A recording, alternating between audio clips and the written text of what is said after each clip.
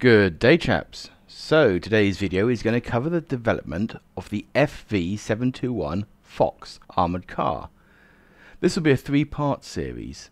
Part 1 will be the background, Part 2 will look at the variants, and Part 3 we're going to look at its fate and what has removed from service. So to the beginning, where did Fox come from? For this we need to look at several separate vehicles and their lines of development.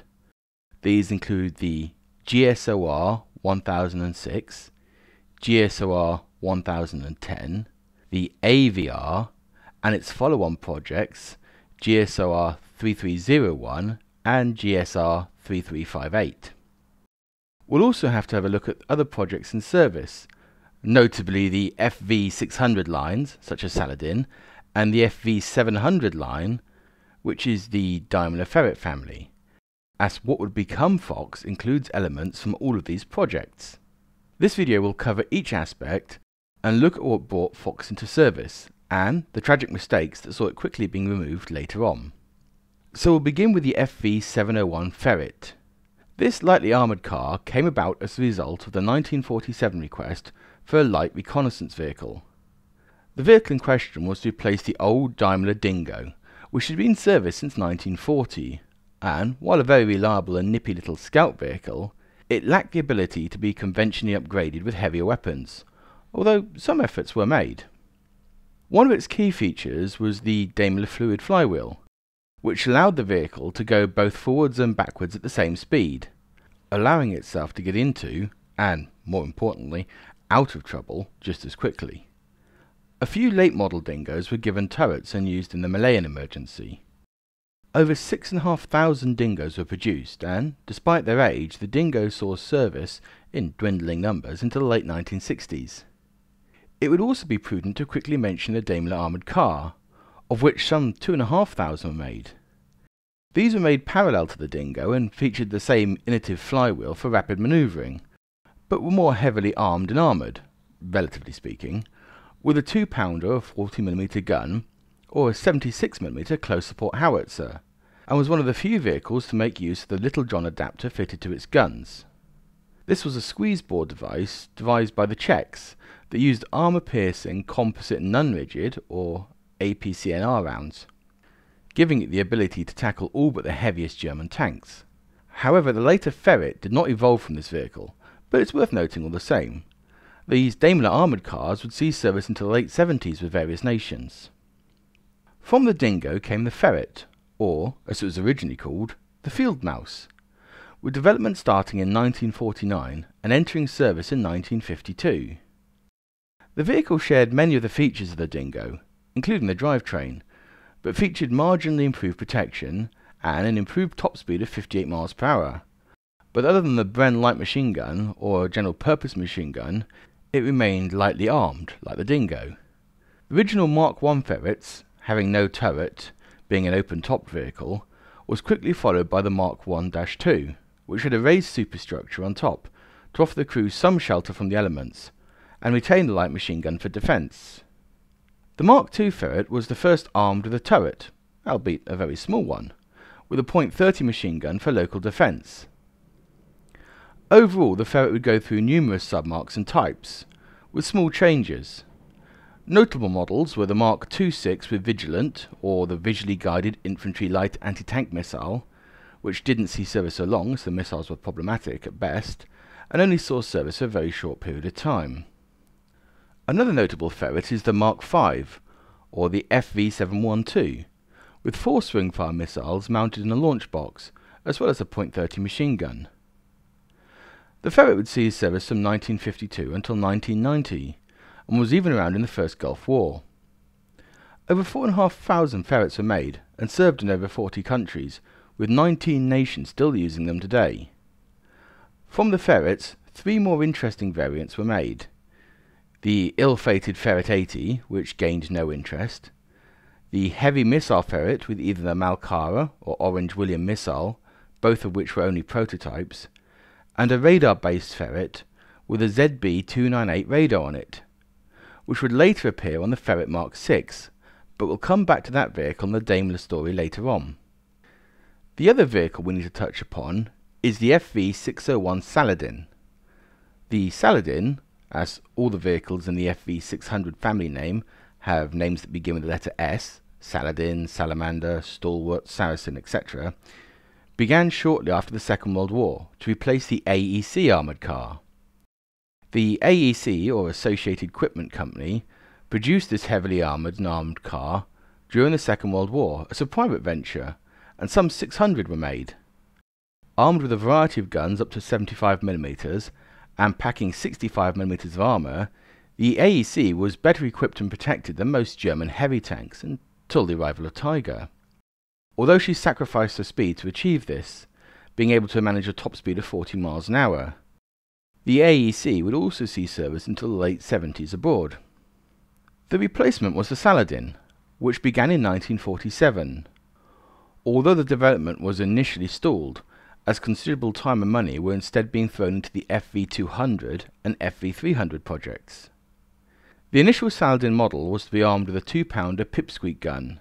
This fired APDS rounds out at 1295 meters a second for 85 millimeters of penetration at 60 degrees to 1 kilometer. But unlike the earlier squeeze bore weapons, could also fire high explosive rounds, although quite how effective those rounds would have been is questionable. The original Saladin vehicle also had a four-man crew, with three in the turret and the driver, the extra crewmen being able to operate the vehicle's reverse mode and drive backwards at high speed.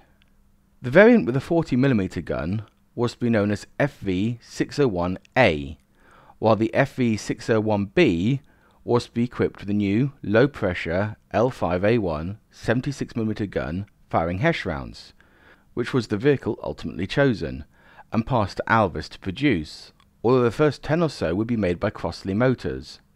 Alvis began to produce the production Saladins under the designation FV601C, and the FV601D for Germany, rebranded the SW3, was the police service. Several variants were made or proposed, including one with a 30mm RARDEN cannon, there were swing-fire armed versions, and so on. The Saladins were well liked for their durability, toughness, and ability to keep operating even after taking quite extreme damage. They proved popular in the Aden conflicts, and were briefly famous for fighting a desperate rearguard defence operation in Kuwait, defending the royal palace against Iraqi T-72s, and even holding them off for a small while. The Saladins served on in many nations, and some are still in use today. Like the ferrets before them, they were also those fitted with a ZB298 radar. So with ferret and Saladin covered, let's move on to the third part, which is the development of the Fox and how it ties all three together. For this, we need to step back in time to the early 60s and the AA FRV project, or the Air Portable Armoured Fighting and Reconnaissance Vehicles, under General Staff Operational Requirement GSOR 1006 and GSR 1010, which were issued in early 1961. These projects were undertaken by the FV RDE and the RARDE feasibility study teams to design a light vehicle to fill a multi-purpose role, a support platform in the form of the GSR 1006, and reconnaissance roles with support aspects in the GSR 1010. By December 1961, the first plans were presented to the General Staff with a variety of layouts and ideas. The GSR 1006 vehicles were both tracked and wheeled vehicles with large 105mm guns, autoloaders, and an entire battery of swing-fire missiles mounted on them, enabling them to offer devastating amounts of firepower. These small vehicles, tracked or wheeled, would be the support vehicles to the 1010 reconnaissance vehicles. A wide variety of them was drawn up, and even the STT got involved with their version, Excalibur, which had the same 105mm gun and could also contain a battery of swing-fire missiles in its body. In the second set of vehicles, the 1010s, a reconnaissance role was also presented. These were again light vehicles, both tracked and wheeled, but either had smaller guns, 20, 25 or 30 mm, and a few 76 mm guns as found on the Saladin, and of course the ubiquitous swing-fire missiles. These GSOR 1010 series were designed to be the eyes and ears of the heavier support platforms. On the 7th of December, the General Staff decided that rather than having two separate GSORs, each with both tracked and wheeled configurations, that instead the project should be combined, and both sets of requirements rolled into one system. This would retain the name briefly of GSOR 1010, and was under the watchful eye of the Director of the Royal Armoured Corps, who had revised the project in 1963. This later reworked GSOR 1010 was then given the name AVR, or Armoured Vehicle Reconnaissance. The AVR vehicle was to be wheeled or tracked and was to replace both Ferret and the Saladin. AVR was to have the following roles an anti APC platform with a 20mm gun, anti tank version with missiles, a fire support platform with a 76mm gun, and a liaison vehicle. It was also envisioned that the APC, command vehicle, and a mobile ambulance could be built into the family. At the same time, a separate study alongside Australia also noticed the need for a fast and very light armoured platform that could be airdropped easily at a moment's notice. This was to be known as the Lightweight High Mobility Tracked Vehicle, or LHMTV, which called for a light platform that could be lifted by a helicopter and deployed anywhere around the world rapidly. Meanwhile, AVR back home carried on until August 1964, where it was decided to split the vehicles again.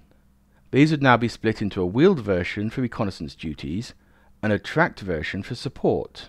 Thus the AVR, Armoured Vehicle Reconnaissance, became the Combat Vehicle Reconnaissance, and each role separated by letter and a new GSR number. The wheeled vehicles would become the GSR 3358 CVRW, or wheeled, leading to the Fox, while the others would go on to merge with the LHMTV program and become the CVR-T, or tracked, leading to the Scorpion light tank. The CVRTs would take on the role of fire support and guided missile roles, and the wheeled vehicles the reconnaissance and anti-APC duties. We'll cover the rest of the Scorpion story in another vid, however from here on we shall remain focused on the Fox. The new GSR 3358 with the name Fox first used was to be part of a new FV720 series, a follow-on from the Ferret FV700 family. Design work commenced in October 1965. In this report they set down the roles required. The vehicle would provide medium and close reconnaissance in a limited and general war, provide battlefield surveillance, provide limited anti-armor and anti-personnel fire support for infantry in airborne-led environments where tanks were not available, as well as provide internal security roles and be able to take part in CBR duties and liaison roles. Around this time, another GSR creeps in, which is GSR 3340. This called for a liaison vehicle to be built along similar lines as the CVRW, with less complex armament, which in turn led to the FV 722 Vixen being created, although only in very limited numbers as the project was dropped after only a few were made.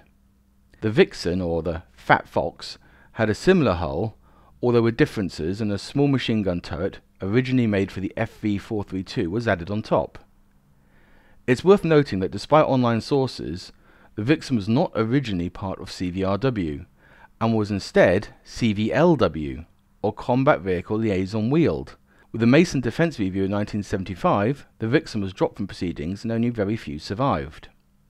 Meanwhile, work on the Fox concept continued.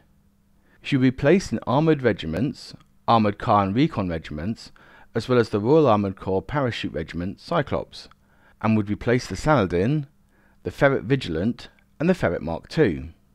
While Fox was undergoing her feasibility studies, the building aspect went out to tender, and the contract was picked up by Daimler. And this is where we meet up with our Daimler timeline.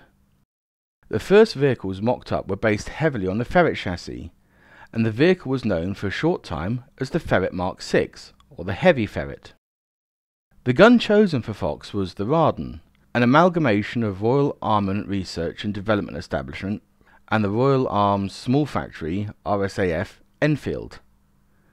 This weapon was originally a 5 round strip clip weapon which had been designed for the AVRs, along with a coaxial 7.62mm weapon although this was later changed to a 3 round clip.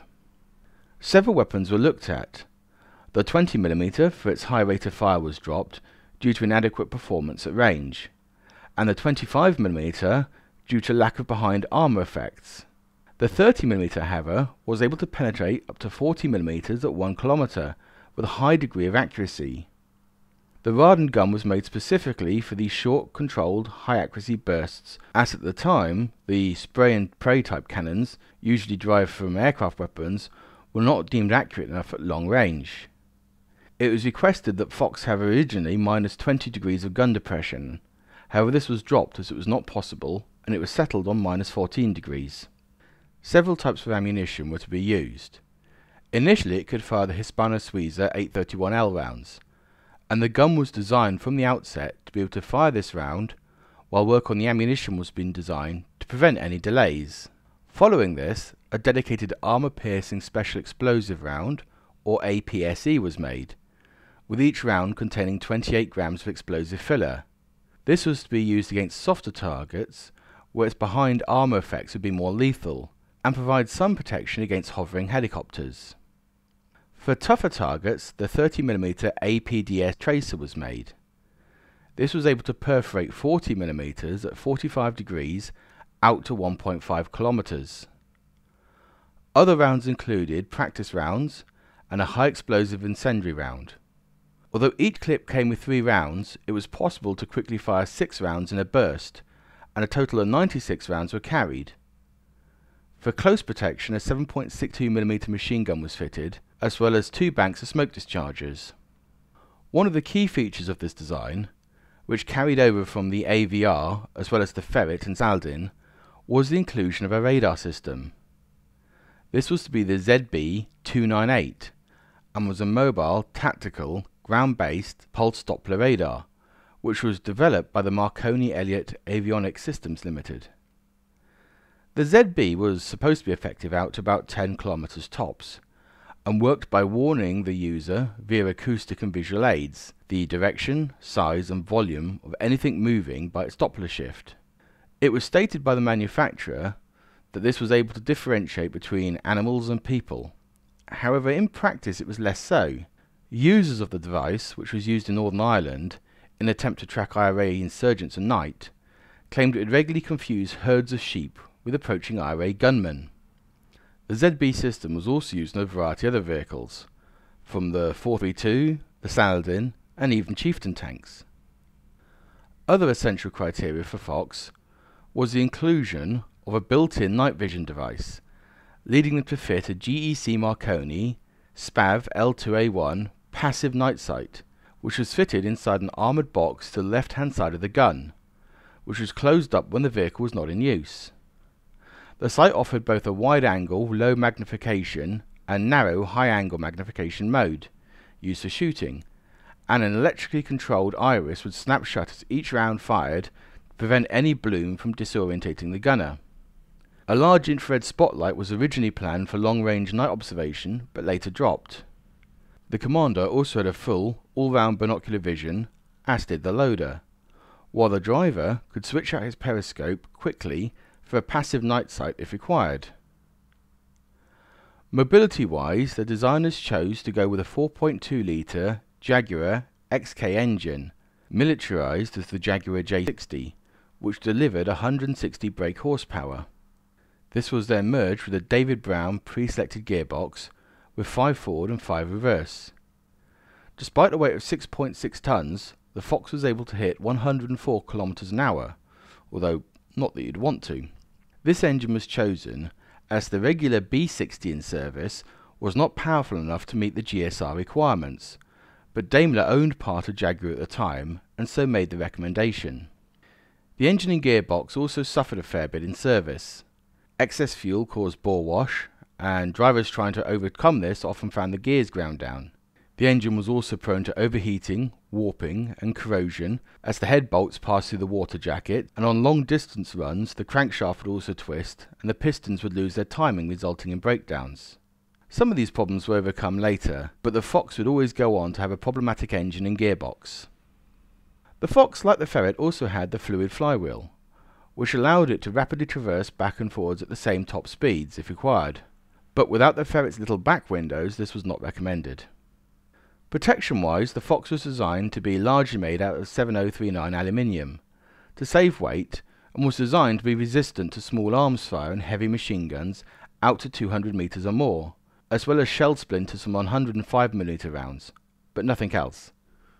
It was originally intended to be made entirely of aluminium, bar a few small structural supports, but this was changed later, which would go on to have some dire and fatal consequences. There were other ideas planned for Fox as well.